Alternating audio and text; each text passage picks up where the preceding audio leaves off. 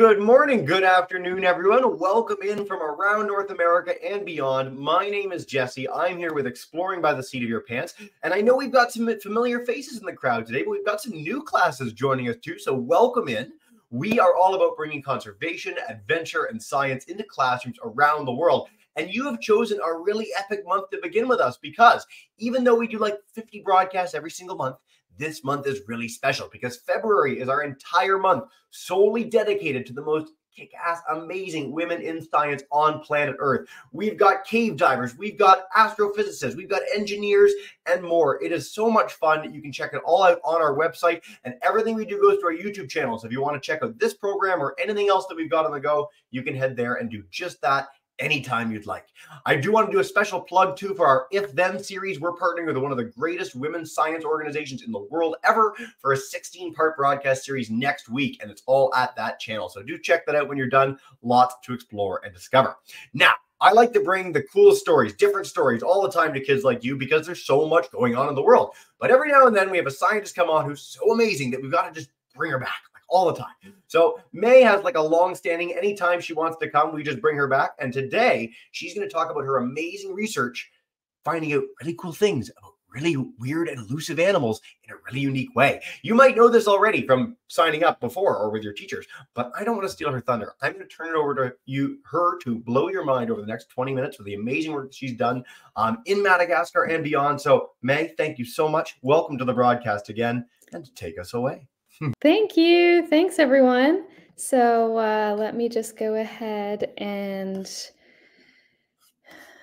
get my thing playing. There we go. Looks good. It looks amazing. Couldn't okay. All right. So yes, thank you for having me back, Jesse. Thank you to all the classrooms who've tuned in. I'm going to be telling you a bit about my expedition to the Vuiburu Protected Area, aka the Lost Forest, and my research, which involves heavily uh, blood sucking leeches.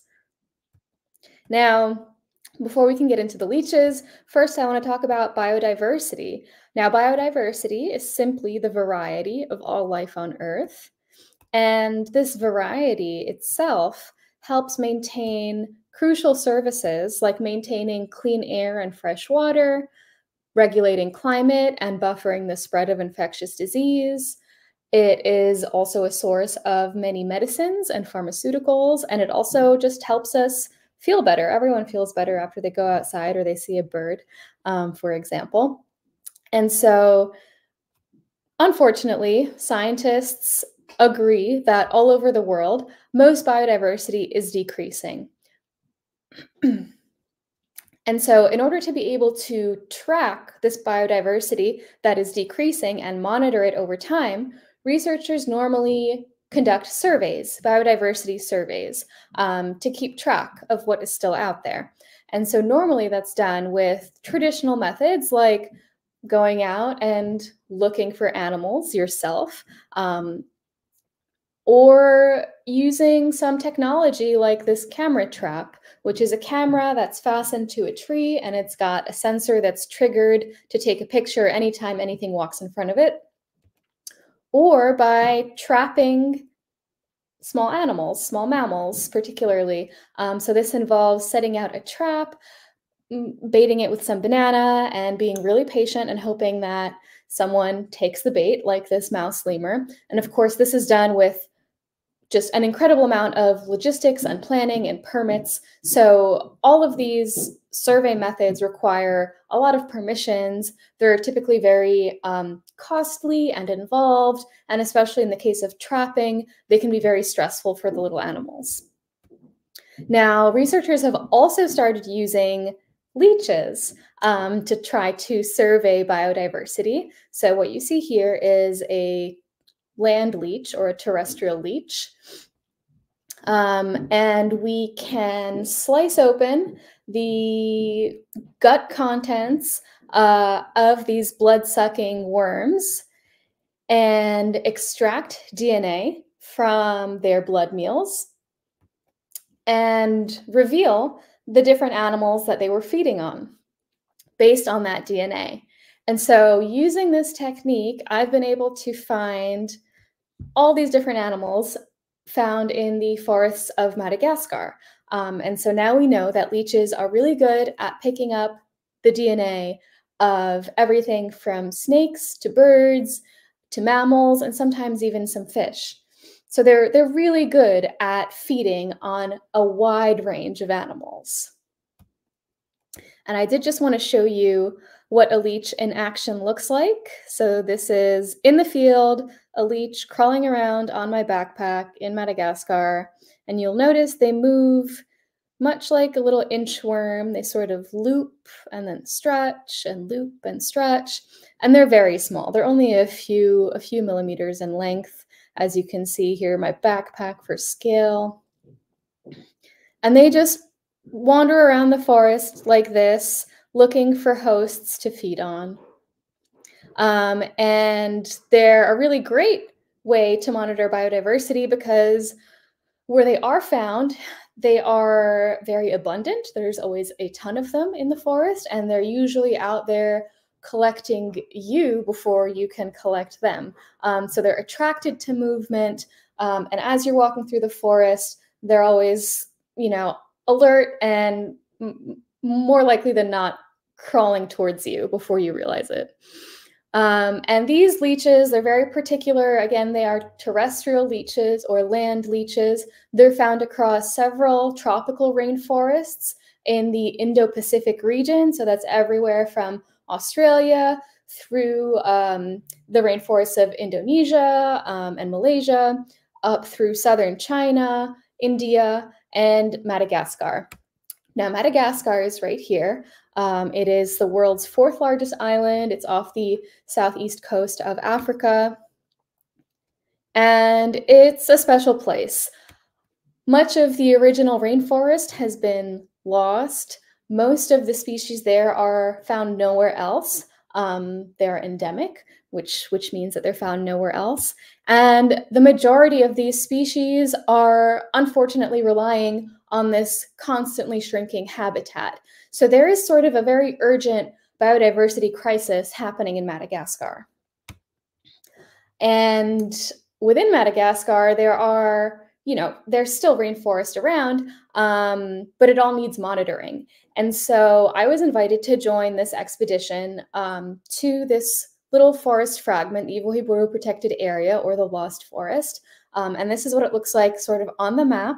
It's got sort of a northern fragment and a southern fragment.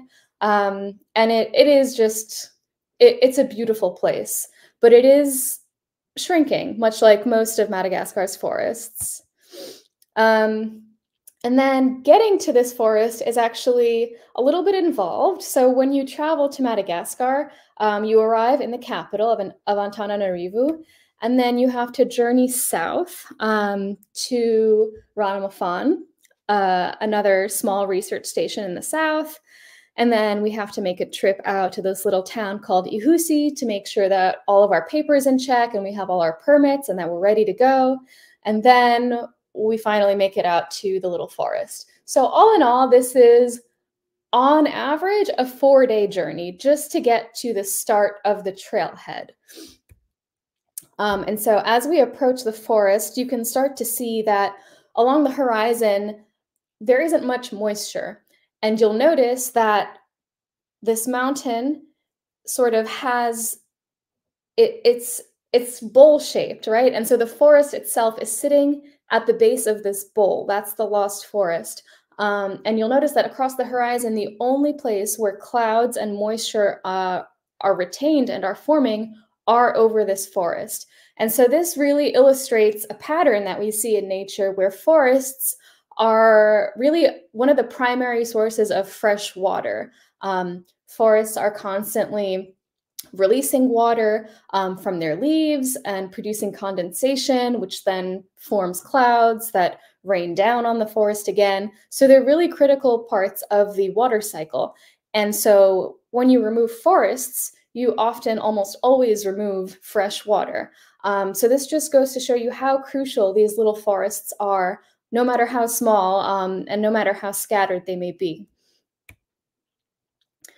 And so after we've traveled for four days to get to this trailhead, we're finally able to start hiking up to the Lost Forest. And for the majority of the hike, this is what we're looking at. It is barren, it's rocky, it's dry. Um, this was a particularly cloudy day, but when the clouds aren't around, the sun is beating down on you, and it's a four hour uphill hike in these conditions. It really feels like you're sort of walking on the surface of Mars. And then suddenly you start to hear the forest before you see it. Um, you hear the birds, and that's that's always a moment that stays with me is when you've been hiking for four hours and you're exhausted and you're thirsty and you're sweaty. Um, and finally, finally, after what feels like an eternity, you start to hear the forest. Um, it's it really makes it all worth it because a forest is really the last thing you expect to see in that landscape. And this is what you see once you come over that final saddle. I mean, it is really breathtaking. Um, just to see all of this green suddenly spill over and appear out of out of what feels like nowhere. And so I was part of a really big expedition uh, pretty recently in uh, November of 2023. We were out there with about 75 people. This is only part of our team. We've got about 60 people in this photo. Now, all of these people are highly trained researchers. They have trained all their lives to find various different types of animals. So we've got lemur specialists, frog specialists, bird specialists, you name it, people who study spiders, people who study ants. Um, and so we were all working together to try to document as much biodiversity as we could. And I wanted to give you a little taste of what life was like at camp. So we were camped at the top of a mountain, essentially. And so all of our camp was on a slope, um, and it was all up in those clouds that you saw, which meant that it was always rainy, um, and nothing was really ever dry, which meant that a lot of our clothes got really moldy and stinky, um, and everyone was pretty much cold and wet the whole time. But obviously, there's no running water aside from the little stream that runs through the camp. So this was how uh, I washed my hair because I was out there for three and a half weeks. Um, and we would all gather around a central tarp to eat our meals together um, in the morning, in the evening. Uh, so it was it was a fun time, it, fun in its own way, you know. And so here, I also just wanted to show you our little camp um, right along that tree line and those clouds that are constantly just moving through. Um, now, my job as part of the expedition was to document this biodiversity using terrestrial leeches, using land leeches. Um, and as I said before, it's often very easy to collect leeches um, because all you have to do is go hiking through the rainforest really slowly. And you sort of are always assessing the situation. You're constantly checking your boots, your pants, your jacket to see whether or not there are leeches approaching um, or whether there are leeches that are sort of climbing all over you. And you pick them off and stick them in these little baggies. Now, we do not want to collect any leeches that have fed on any humans. So if any leech has fed on me or a member of my team, we let it be because that'll flood the leech with human DNA, which we aren't really interested in learning about. And then we take these leeches back to camp where I sort them out into different groups to help me analyze them later on. And I just wanted to give you a little taste for what working in this forest was like. I love invertebrates. I love, you know, um, arachnids and insects and, and things without a backbone. So um, I'm always really excited to find uh, little buggy things in the forest. so these were probably my favorites. Um, we've got a rainbow loca- uh, rainbow milkweed locust all the way on the left here, and these really bright, sort of alarming colors. And this is a warning sign to predators not to eat this locust because it is poisonous. And then we've got this huge, gnarly cricket with those mandibles, which is just so cool. I want this printed out in a poster in my home. Um, and we've got the classic golden orb weave spider, that spins this beautiful golden silk, which is among one of the strongest materials on the planet. And um, the spider is roughly the size of your hand, so they can get pretty big, but they are harmless. Um, and if anything, they're just they're just nice to look at. Of course, we also have lemurs. You can find lemurs only in the forests of Madagascar. They're found nowhere else in the world, which again makes them very endangered by nature. And we were really excited to find this particular mouse lemur in the forest, which we believe might be a new species of lemur altogether. We also have, of course, the very famous ring-tailed lemurs um, are found in this forest. They're usually not found in rainforests. They're usually found in a very um, arid, desert-like forest out in the uh, western region of Madagascar. So it was really strange to find them all the way out here, um, sort of in the central region of Madagascar, living in a rainy rainforest. So we're not really sure why they've done that, how long they've been in this forest, whether or not they're even closely related to the populations of ring-tailed lemurs in the west, um, whether they have new adaptations to this little forest to help them survive. So there are a ton of mysteries surrounding not just the lemurs, but really everything that we've found um, in the Lost Rainforest. we always find chameleons. Um, Madagascar has the highest concentration of chameleon diversity in the world. So you'll find big and small chameleons, you know, the length of your forearm down to itty bitty chameleons that are no bigger than about a fingernail. Um, and uh, they are, you know, come in all different shapes and sizes. You also have the satanic leaf-tailed gecko, which again is also only found in Madagascar. And these are really impossible to spot um, in the field. They are incredibly well camouflaged. They've got a tail that looks like a, a, a dead leaf um, and they can change colors depending on where they're standing. I mean, they are just so cool. And here we have some dwarf lemurs, which again, I just want to just want to reiterate that anytime you see any animal being handled, it's because we have so much paperwork um, and approval to be able to do that. And so the only people who are handling them are highly trained specialists. This is a dwarf lemur that we trapped um, on one of our trapping nights, which we believe is a new species. You see here on the right, it's got that little white tuft at the end of its tail. That's not something that you normally see across other dwarf lemur species throughout Madagascar. So again, very exciting. And a ton of frogs. Frogs that we didn't really expect to find, again, way out in this little lost forest. Um, a lot of rainforest frogs, but but a lot of species of frogs that are probably going to require an update to their um, natural distribution in the wild. So uh, scientists are probably going to have to sort of update the, the databases that describe where different species are found, um, and these frogs are going to need a little a little update in that sense. And so once I've collected my leeches, I collected here 1,451. Um, I package them into these little tubes and I fill them with fluid that preserves DNA. And I wrap them up really well so that they don't leak on my flight. And, uh, and then I issue exportation permits to get them out of Madagascar.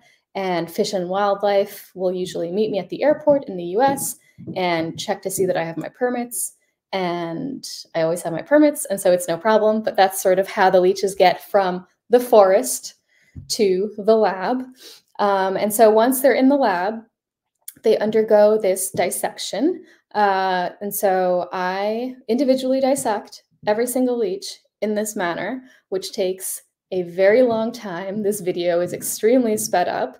Um, and dissecting them in this way makes sure that I I'm excluding as much leech tissue as possible and really just targeting as much blood meal content as I can. And so we remove that, um, the caudal sucker, the back end sucker of the leech, because that's going to be all leech DNA. And then we go in for the host blood meal DNA in this little piece. And these are the results that we get. These are some of my top quality results of leech gut contents. Um, after some pipetting in the lab, we are able to get this sort of data. Um, and so here we can we can show that leeches have fed on everything from this little falcon to ring-tailed lemurs to tenrecs and birds. Um, and I always like to point out that even with that enormous team that we were working with in the field of 75 experts who have all been trained all their lives to detect various different animals, with leeches, I was able to find these four frogs that were not picked up by those specialists. Um, and so that's not to say that those specialists didn't do a good job, but of course, there is always more to learn when we use new and different methods. And so surveying leeches for biodiversity seems to be very efficient because they will pick up on animals that are normally too small to trigger camera traps, too camouflage to spot even with a trained eye. And so they really offer up a unique and a new slice of the ecosystem that tends to go unnoticed in these large scale surveys. So I always advocate for including a leech survey um, in a biodiversity monitoring program if you're going to be working in any of those forests across that Indo-Pacific region, which harbors terrestrial or land leeches. And so with that, I will stop here um, and I'll be happy to take some questions. what a hilarious final picture with a leech on the face. I appreciate that very much, Mai. Um, well, thank you so much. Madagascar is such a special place, even by the incredible standards of the, the places that we showcase in these broadcasts some of the most biodiverse places on planet Earth. Madagascar is really special because it has so many unique creatures and gigantic, wonderful spiders, which you and I agree are beautiful, but I think a lot of our students might disagree. We'll see if we get questions on that in the Q&A. Um, classes, we're going to dive in with Q&A. Mai, I don't know if you can see us right now, but feel free to exit screen share if you can't. This is nice to uh, see the kids. Yeah. Okay, there we go. I can see you now. There you are. We're going to head to our Hill Park Learning Crew first for a question in just a second. I do want to note our YouTubers, if you guys want to chime in with questions, we'd love to hear from you too. Uh, but we'll begin with Hamilton. If you guys want to kick us off and go with a question for Mai, you are in the broadcast and good to go. Hi, guys. Hill Park. Hey, folks. Hello. Hello. Don't, don't worry. Hello, everyone. Hello. Thank you for the presentation. That was wonderful. Did you like it, guys? Wow, yeah, I like it. awesome. Thank you. I, I was interested. Thank you, Sierra. Do you have any questions for Mai? Any questions, guys? Uh, I have a question. Sam has questions. Sam, can you Yeah. come here and ask?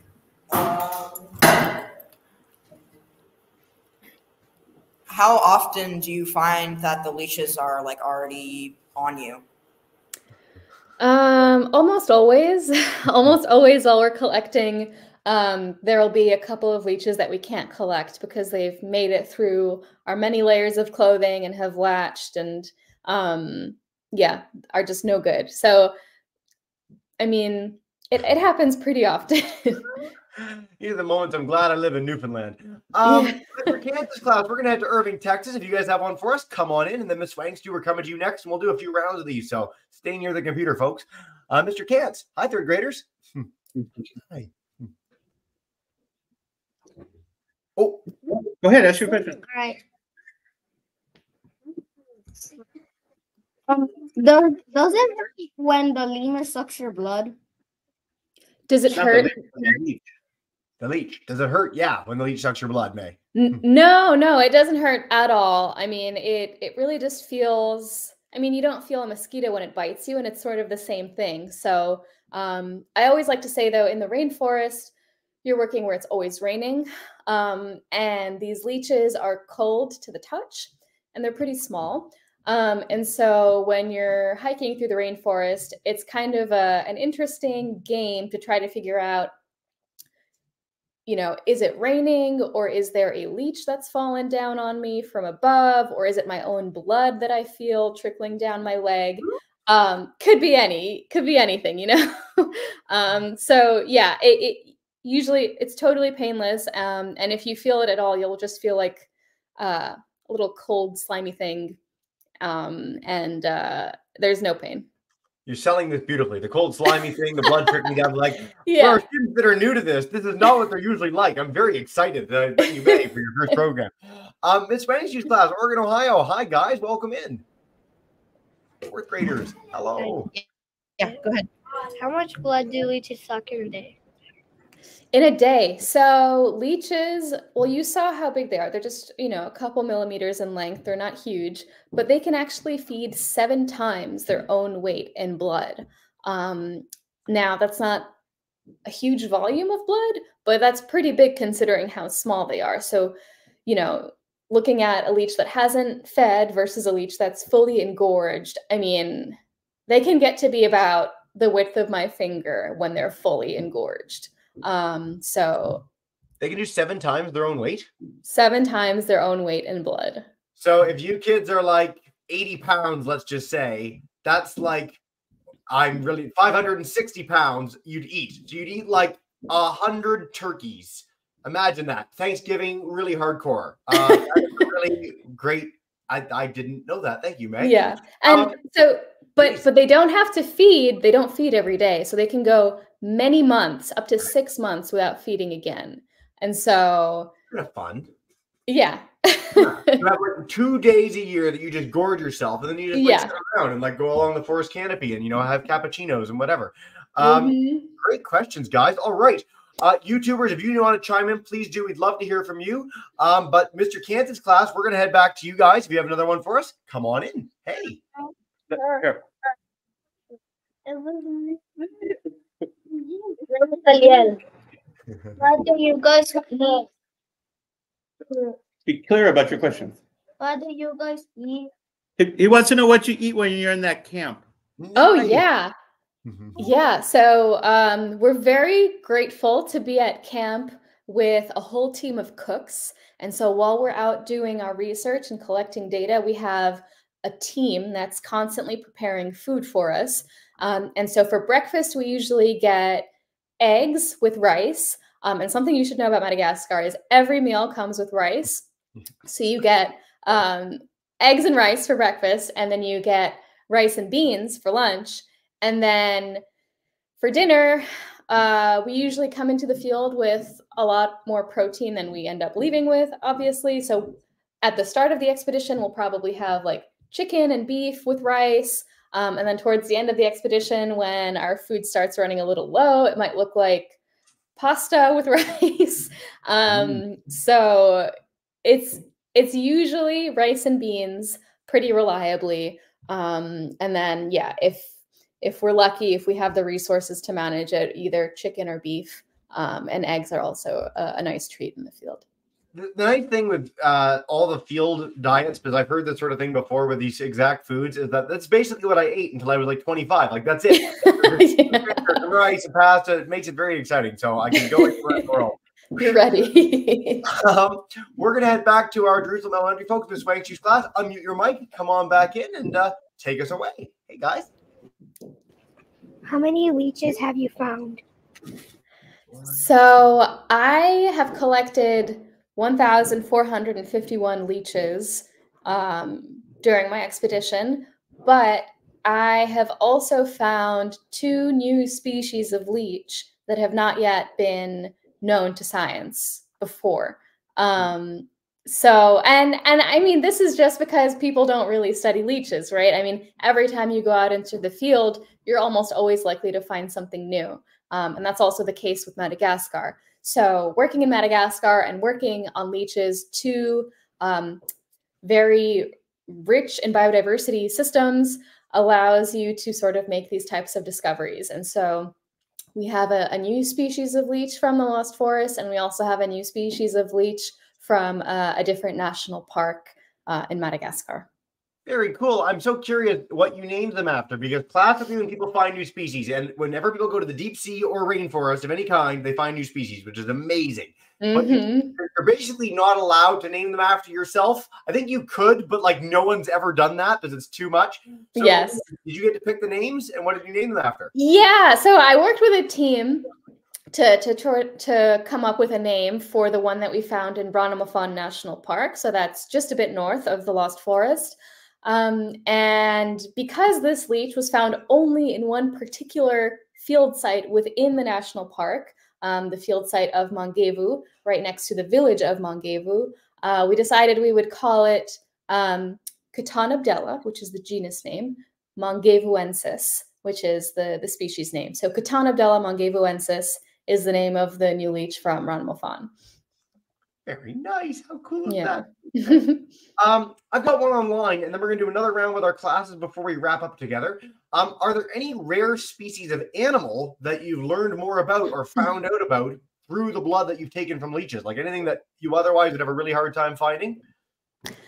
Yeah, I mean, I mean these these ring-tailed lemurs, as I was saying before, um, we had only heard rumors that they were found in this lost forest, um, and on one day we thought we heard their calls really far off, but we tried our best to go find them and we couldn't. Um, and so to have their DNA in leeches is really exciting because this really places them in this forest, which again was a very strange finding um, and is very unusual for this species of lemur. And so by discovering their DNA within a leech, we can now start to ask bigger questions about well how did they get there and how long have they been there and how similar are they to other populations of ring-tailed lemurs? Um, so that kind of thing. Um, it's my dream to see an aye-aye in the wild. I have not ever seen an aye-aye in the wild. Um, and i always dream and hope to to find uh, some aye-aye dna within a leech but that hasn't yet happened so I really encourage our classes to look up aye-aye. They are one of the freakiest, most wonderful animals on planet Earth. Our friends at the Duke Lemur Center, who we have on all the time to talk about lemurs, have some amazing aye-ayes, uh, but they are unlike anything on Earth. They're like a, the candidate for the most alien-looking mammal that there is, I think. Um, totally especially and the- only found in madagascar only found in Madagascar, like all lemurs. Yes, There's no Yes, lemurs yes. yeah, good. yes I've crossed over to Mozambique or anything. Um, Mhm. we're going to do one more round of questions, folks, and then wrap up from there. Uh, Mr. Kansas class, come on back in, third graders, and take us away. Hey.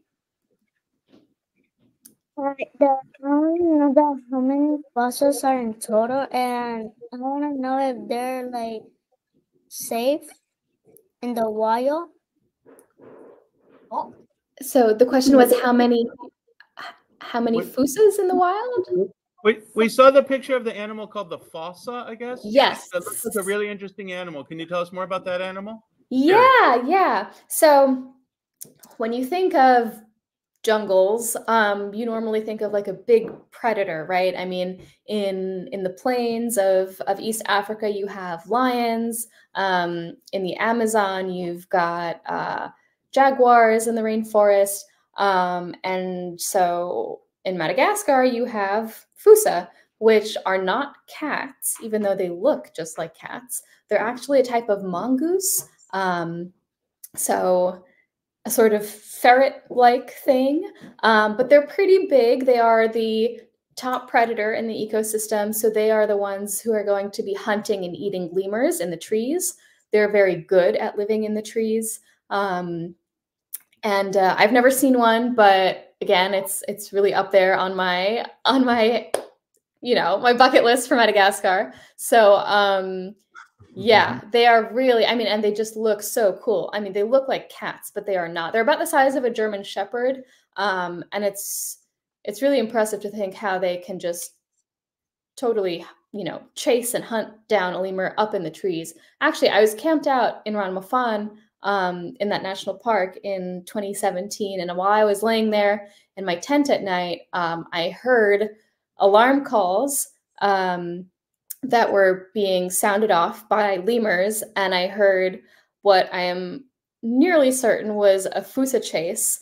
Um, and it was all just happening over my head up in the canopy. So that was really exciting. Really but I didn't exciting. see it. Because this is the dream, not only to see it, I don't think it's ever been filmed, and I don't know if it ever could be filmed really properly because it would be like a three dimensional chase with leaping things, with jumping things. You Yeah. know, a wide array of canopy where you couldn't get the shot, but it would be one of the coolest hunts to witness in all of nature. For So, sure. Yeah. So glad someone mentioned the fossa. They're so cool. So thanks, Mr. Yeah. Um, we're gonna wrap up with one more Miss Issues group. Uh, unmute your mics, come on in, and thank you all so much for being here. Uh, I'll just do a quick note. This will be on YouTube. I'll follow up with some cool survey stuff for all our classes in a minute as well. And do check out our If Then series as part of our whole epic month to wrap up this incredible February as well. Miss Wanks, do come on in and take us away. Are there different types of leeches and what eats them? Yes. Yes, there are so many different types of leeches, and actually, I do have a slide dedicated to just leeches if I can find it quickly enough. Um, so there are about 600 different species of leech. They are found all over the world. They're found on every continent except Antarctica, and they are found um, in every ocean and in every sea. And here we are. I wanted to play. Can you see this screen? All right. We sure can. Okay. It's really freaky. I love it. Yeah. So everything you see here is a leech. Um, so they come in all different shapes and sizes and colors. Some have frills, some swim, some are found on land. Um, they almost always have these really intricate patterns. Um, and uh, and I guess you you could often find them. Um, they'll be eaten by things like frogs and birds um, and uh, I don't know other other things that are living out um, and and feeding on on small wormy things. So frogs and birds, I think, are the main candidates that are going to be feeding on um, on leeches. Very cool. Mai, I know we could talk all day about the amazing work that you've done and these incredible places you've had the chance to visit. Is there any final message on the work that you do that you'd like to share with kids to wrap up with? Anything about Madagascar, leeches, whatever your fancy before we bring in the classes to say farewell? Yeah, I mean, I always just like to emphasize that if this is something that you want to do, um, you can. Anyone can. Um, if you love science and if you love research, um, you know, tell your teachers and and see how you might be able to get involved in doing research at home. If you want to work with animals, you don't have to go all the way to Madagascar to do so. Um, you know, there's wildlife everywhere. There are big questions to ask all the time in every ecosystem. Um, so don't don't feel like this is you know sort of an impossible option if if you want to to get out there and, and see cool things and do research in that way. Um, otherwise, I mean, don't be afraid of things that look different and slimy and small. So stay curious and um, and form your own opinions and question everything. Amazing. Mai, thank you so much for this. Uh, your enthusiasm is palpable, and it's uh, such a cool place you have the opportunity to share with us today. So I'm going to bring in our classes, Mr. Can's class, Ms. Swankshu's class. Our Hamilton crew had to leave a little early, but a big thank you to them for joining as well, and YouTubers. Uh, come on in, everyone. Thank you so much. Have a wonderful day, kids. Bye for now, guys.